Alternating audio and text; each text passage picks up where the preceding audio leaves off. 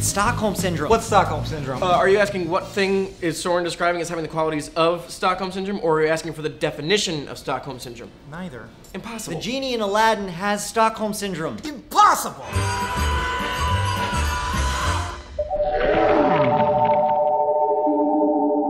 The genie has been trapped for, according to him, 10,000 years. 10,000 years! And in all that time, all he ever wants is his freedom. Itty bitty living space. And at the end of Aladdin, he gets it. And what does he do? Uh, make a bunch of stupid puns, probably. Dumb voices and dated references. Egregious product placement. He returns to Aladdin's service. He travels the world for like a hot second, and then he goes right back to Agrabah and follows Aladdin around. And in Aladdin 3, King of Thieves, Dope flick. Aladdin and Jasmine get married, and he serves as Al's best man, and his wedding coordinator, and his decorator, and his valet parking attendant, and so on. Additional items, I'm sure. But it just sounds like Genie and Aladdin have like a genuine friendship, like the kind I've read about in my books. You're not missing much. Friends?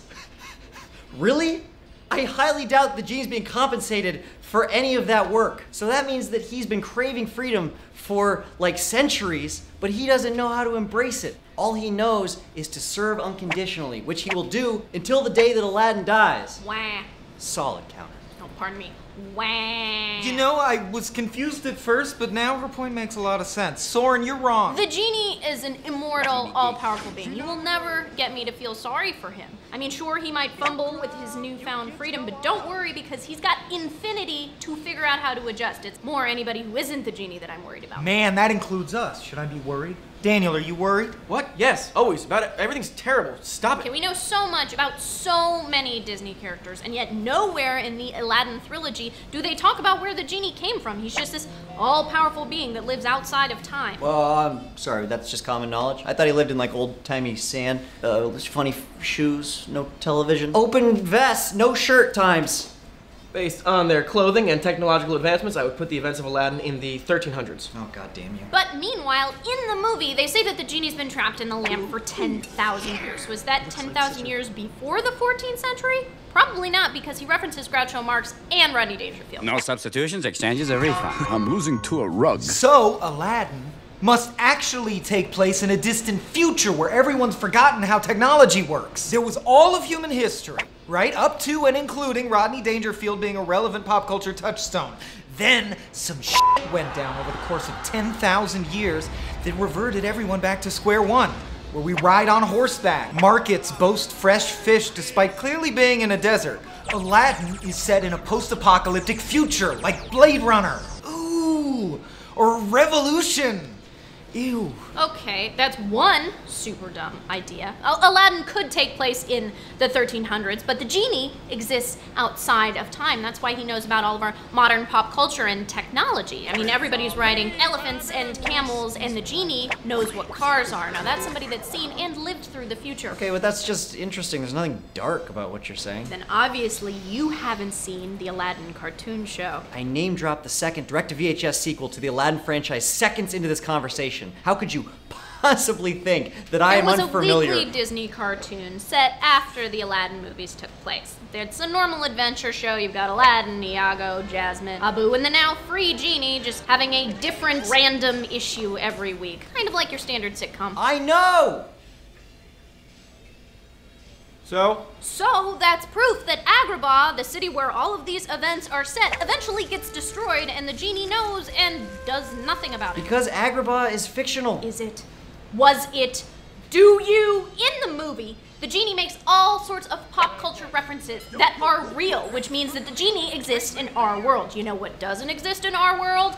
Agrabah, or any historical evidence that it ever existed, which means that sometime between Aladdin and the present, Agrabah was completely wiped off the map. And instead of doing something about it, the genie just does an impression of Jack Nicholson. All right, Sparky, here's the deal. But by that logic, you should have stopped 9 11 and the Holocaust and the Taco Bell nacho rap. You can't put everything on Genie. All I'm saying is that the genie claims to be Aladdin's buddy, but he's really just biding his time until Aladdin dies. He's an immortal, constantly living every version of reality, just dicking around like some bored blue Dr. Manhattan.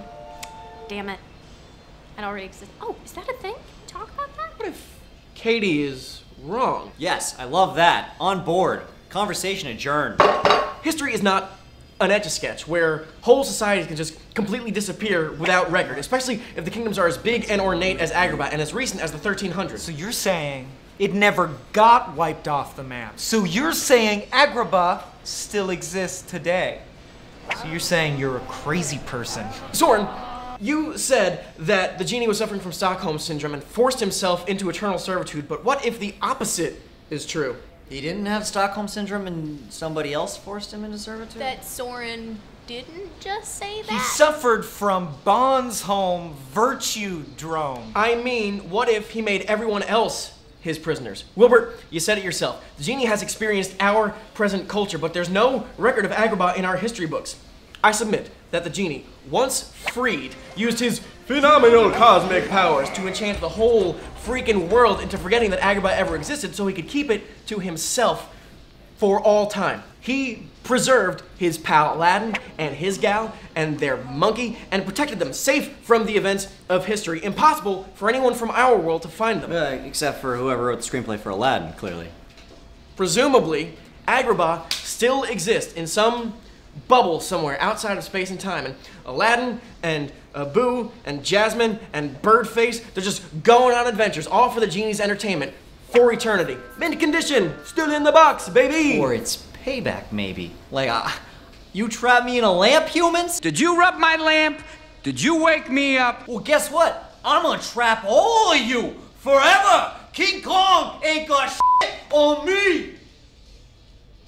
It's like the Dark City of children's cartoons. You guys ever think that maybe we think about movies more than the people who made the movies? Yeah, like maybe we're projecting. Yeah, I think about Right, that. like that the guys who wrote Aladdin maybe wouldn't have if they knew a bunch of assholes were gonna sit around tearing all their choices Well, no matter what you make, some dickhead's gonna comment I'm on gonna it. stop making things forever now because of comments. Roll sound. Roll cameras and action.